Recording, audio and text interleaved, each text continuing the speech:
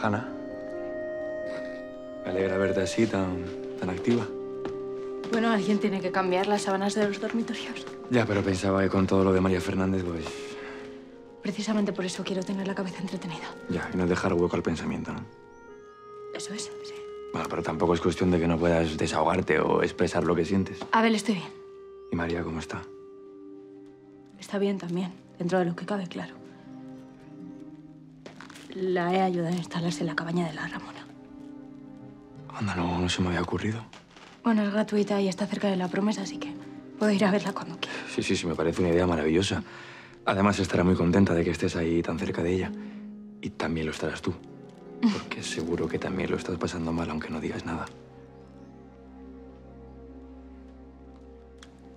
Hanna, sabes que puedes contarme lo que sea en confianza. Conmigo no tienes que guardar las apariencias.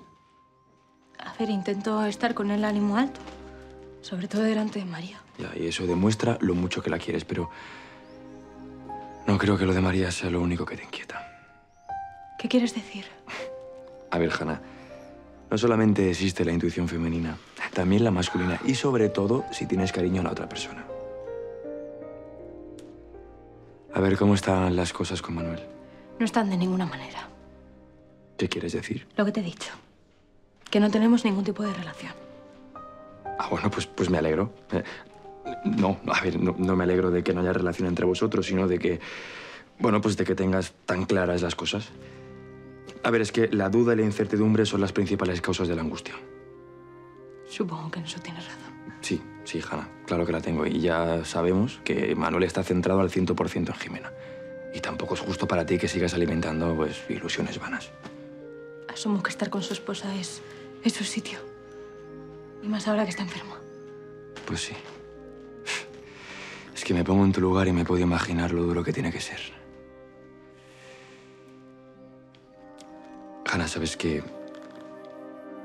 que estoy aquí y que puedes contar conmigo para lo que necesites. Sabes que... sabes que yo te quiero. A ver. Vamos a ver, yo no quiero que te pienses. No, no, no, Hanna, Hanna, que yo no me pienso nada. Únicamente quiero que sepas que, que puedes contar conmigo, que estoy aquí. Sí, claro, tú también puedes contar conmigo, Abel, pero yo te aprecio. Pero estoy segura que no de la misma manera que tú a mí. Y yo no te quiero hacer ninguna falsa esperanza. No, Hanna, las esperanzas no son falsas. Son esperanzas y además son lo último que se pierde. Bueno, pues a lo mejor deberías perderlas del todo.